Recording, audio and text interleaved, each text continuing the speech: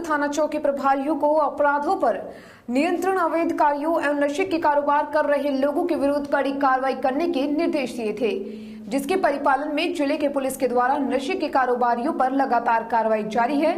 नशे के विरुद्ध एक और बड़ी कार्रवाई करते हुए एक व्यक्ति से दो लाख बीस हज़ार रूपए कीमत के चौवालीस किलो तीन सौ ग्राम मादक पदार्थ गांजा के तीस नग पौधा जब्त किया है।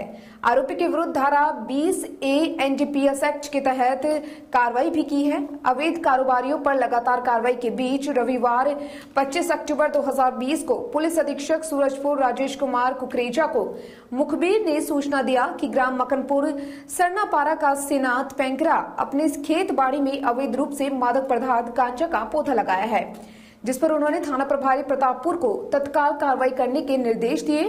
एसटीओपी प्रतापपुर मंजुलता के मार्गदर्शन में थाना प्रभारी विकेश तिवारी, पुलिस टीम के साथ मकनपुर सरनापारा निवासी सैनाथ पेंकरा, पिता सागर पेंकरा के घर पहुँचे और उसे तलब कर उसके बड़े में खोजबीन करना शुरू कर दिया। पर बाड़ी में 30 नग मादक पदार्थ, गांजा के पौधे, जो 44 किलो 300 ग्राम पाया गया, जिसकी कीमत दो लाख बीस हज़ार रूपए बताई जा रही है। आरोपी सेनाथ पेंकरा के विरुद्ध अपराध क्रमांक एक उनहत्तर बटे बीस धारा बीस ए एनडीपीएस एक्ट के तहत अपराध पंजीबद्ध कर गिरफ़्तार किया है।